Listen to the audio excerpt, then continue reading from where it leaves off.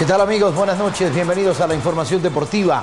La selección ecuatoriana va completando el grupo con el arribo de los repatriados. Este lunes el presidente de Ecuafútbol visitó a la TRI y expuso su malestar contra el municipio capitalino.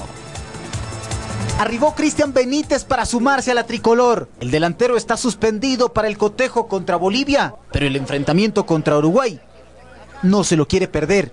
Sí, creo que eso es lo que nos está faltando, ir fuera y, sumar de a tres, sumar de a uno. Creo que estamos en un buen momento y esperemos, eh, primero contigo, ir paso a paso Bolivia de a tres y, y luego pues ir a Uruguay también. La nómina se va completando. Llegaron todos los que militan en el fútbol mexicano.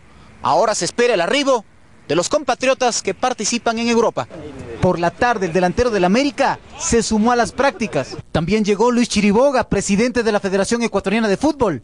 Dijo que la nueva ordenanza municipal perjudica económicamente a la entidad con el nuevo aforo del Estadio Olímpico Atahualpa.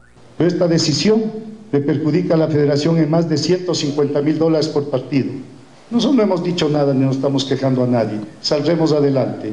Resaltó que como federación cumplirá a cabalidad con lo dispuesto por el municipio de Quito aunque le resultó imposible disimular su molestia ante las nuevas disposiciones. Pero señalar de 40 centímetros que es suficiente para que se siente una persona, señalar con una pintura a 45 centímetros, no es algo extraordinario ni están descubriendo eh, nada fundamental. Que se creen más dueños de la programación que la propia federación y que abusan del poder tomando todas las decisiones que quieren. Desde este martes por la tarde, Reinaldo Rueda, seleccionador nacional, ya contará con la nómina de jugadores completa.